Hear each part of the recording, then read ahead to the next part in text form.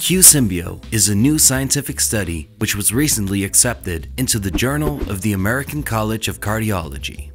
The aim of the study was to discover how daily treatment with a high quality Q10 supplement would affect heart failure patients in the long term.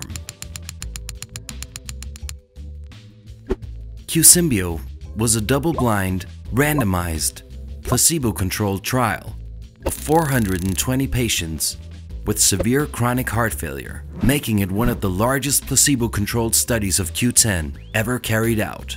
Participants were randomly divided into two groups.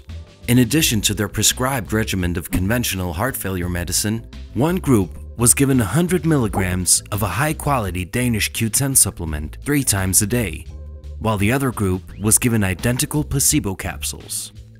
Researchers followed each participant for two years measuring the frequency of what cardiologists call major adverse cardiovascular events, or simply MACE, which include unplanned hospitalization due to worsening heart failure, mechanical circulatory support, urgent cardiac transplantations, and cardiovascular death.